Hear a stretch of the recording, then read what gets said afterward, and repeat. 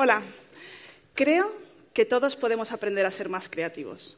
Soy una apasionada de esa idea, por eso es fundamental para mí convenceros en cinco minutos de que la creatividad es algo que nos concierne a todos y que todos podemos aprender a ser más creativos.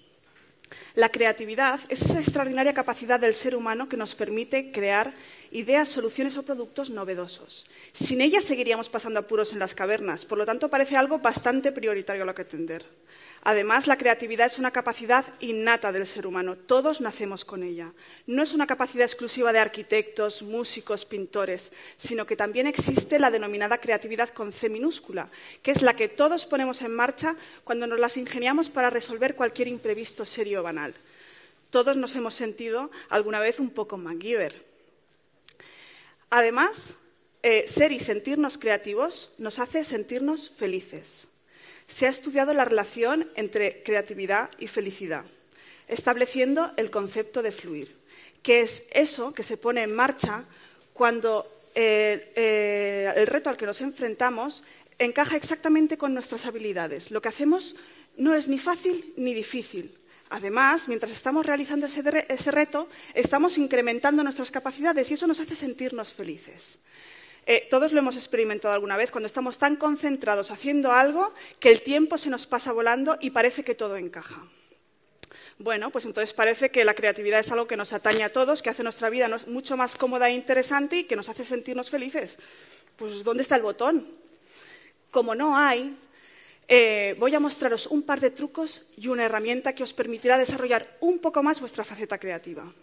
Para eso necesito rebobinar un poco. A mí me resulta muy curioso que a lo largo de todo nuestro proceso de formación no se nos enseña a pensar de forma creativa. Es más, eh, normalmente empezamos así y muchos acabamos así. Eh, por el camino suceden fundamentalmente, desde mi punto de vista, dos cosas. Por un, lado, durante toda nuestra época de colegio nos dedicamos a hacer exámenes, a huir del suspenso, y eso nos enseña a huir del error. Sin embargo, el error es una parte fundamental del proceso creativo, nos ayuda a verificar y a incrementar los resultados. Atención, este es el primer truco. Os invito a todos a aceptar el error como algo natural y positivo dentro del proceso creativo. Esto nos ayudará a superar muchos bloqueos eh, relacionados con el miedo al error y el miedo al ridículo. Además, eh, otro pilar de la formación son las matemáticas y esto desarrolla en nosotros mucho el pensamiento lógico. El pensamiento lógico es muy útil porque eh, con él conseguimos resultados muy certeros con muy poco margen de error, pero acaba por ser muy excluyente. Sin embargo, existen muchos otros tipos de pensamiento creativo y poder aprender a usar estos tipos de pensamiento creativo y poder saltar de uno a otro propulsará nuestro proceso creativo. Fijaros, Uniendo estos dos trucos, que es no tener miedo al error y usar tipos diferentes de pensamiento creativos, llegamos a la herramienta que he venido a ofreceros, que es una de las grandes herramientas de la creatividad, jugar, hacer el bobo, obviando la, lógica y sin miedo al error, porque entre todo ese mare magnum de ridiculeces que hagamos puede que haya algo que transgreda las normas y que nos obligue a ver las cosas desde otra perspectiva.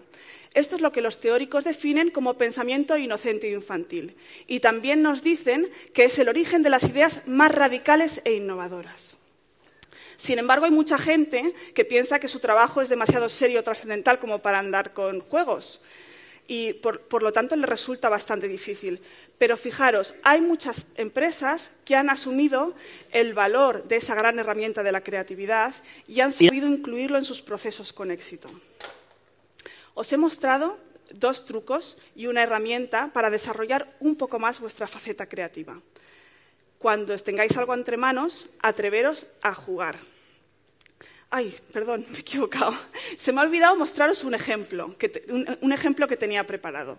Y es eh, que en los talleres de creatividad desarrollamos un juego que se llama la construcción de una torre y se consiste en construir una torre en 15 minutos con cinta y espagueti. Mientras los adultos, este, en este ejemplo, los adultos desarrollaban una torre muy estable usando el pensamiento lógico. Sin embargo, los niños, usando su pensamiento infantil, estaban enfocados en llevar el espagueti a lo más alto. La torre era completamente inestable y que no iba a funcionar y comenzaron a tirar tensores hasta que al final uno de ellos dijo, ¿y si la sujetamos al techo? Fijaros, para el mundo de la Torre de los Espaguetis fue una idea completamente revolucionaria y además fue una idea ganadora. Estas son las herramientas y los trucos que os he mostrado hoy, pero recordad que la creatividad es cuestión de trabajo, autoconocimiento, tesón y mucha pasión. Gracias.